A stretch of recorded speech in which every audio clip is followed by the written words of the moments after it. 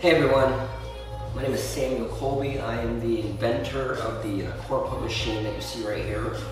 Um, so it's kind of what uh, what sparked my interest in doing a research study on this amazing machine is um, if you want to know kind of the future of the human race, if you want to know our future that affects us um, directly, um, follow the path of the billionaire. Um, as everyone knows, billionaires get um, privileged to be in a lot of closed door meetings, discussing theories, um, people seeking their investment for prototypes and, and all that stuff. And uh, it seems seems pretty currently that uh, you know in the past Elon Musk and uh, Richard Branson were pretty much the um, the main billionaires that were trying to pursue spaceflight, commercial spaceflight.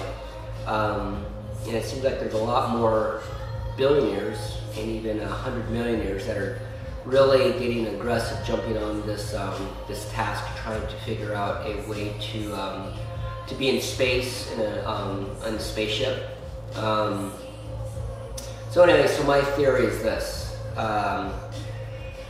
I know someone personally that um, is he got commissioned um, quite a quite a lot of money uh, in the billions to build a um, high-powered telescope. So I'm thinking we found a new Earth somewhere in our galaxy.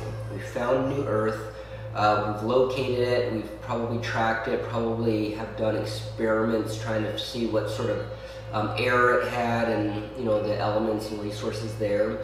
And now we're building a bigger telescope now so that we can probably look at the surface of this planet. Um, having said that, it's probably 5, 10, 15, 20 years from here um, on a spaceship.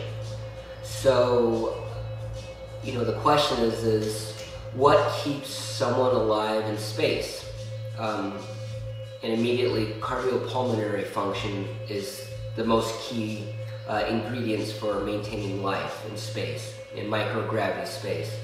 Um, so how do you keep someone alive? How do you keep someone um, fit for long-term spaceflight, um, deep space flight? Um, and, and that is to exercise the body on a cardiovascular and pulmonary level.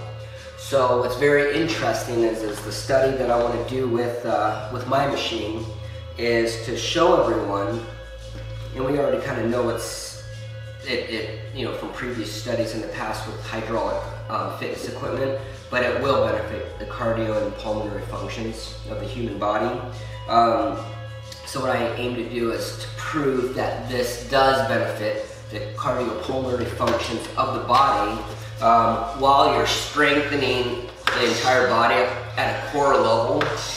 Um, and once I can prove that, that the CorePump machine benefits or improves cardiopulmonary function, then I need to prove that the CorePump machine works in microgravity environments. So we'll figure out a way to test this um, in a microgravity environment.